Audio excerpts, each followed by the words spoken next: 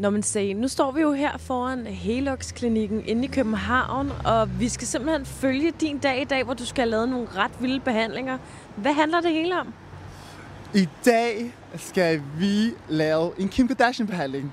Jeg får lavet nogle ekstreme behandlingsmetoder i mit ansigt, øh, fordi det er, jeg skal forberede mig på en skønhedskonkurrence, som jeg skal afsted her meget, meget snart.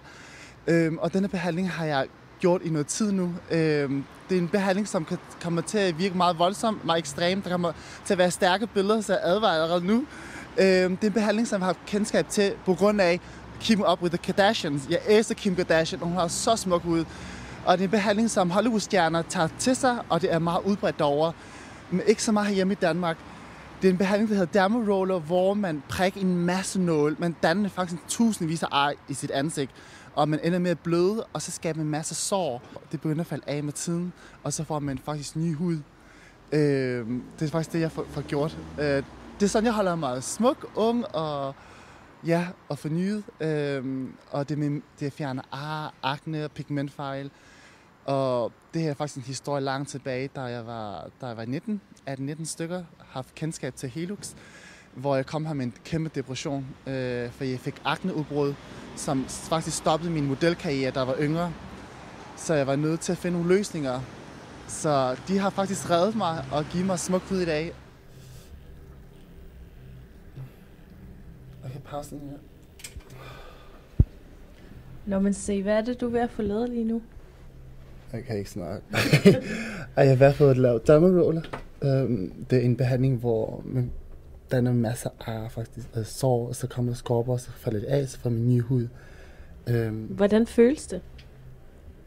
Um, det er forskelligt fra folk til folk. Um, ved mig føles det ikke så behageligt, men det er lige til at holde ud. Um, man må jo lide for skønhed, ikke? Altså, hvis Kim Kardashian kan se så godt ud med dermaroller, så kan jeg også. du bløder jo helt vildt i panden lige nu. Det ser jo lidt drabeligt ud. Hvordan har du det med det?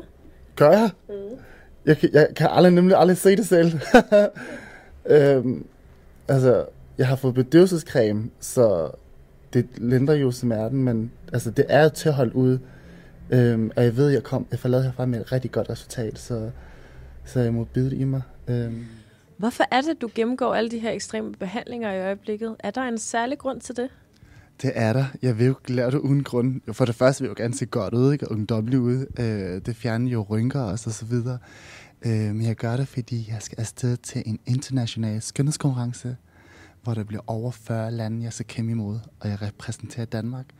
Så jeg må se, jeg må være mit bedste jeg. Så derfor jeg gennemgår alt sådan nogle behandlinger som, som den her. Det er jo så en af dem, ikke? Kan du fortælle mere om skønhedskonkurrencen, eller hvordan med det?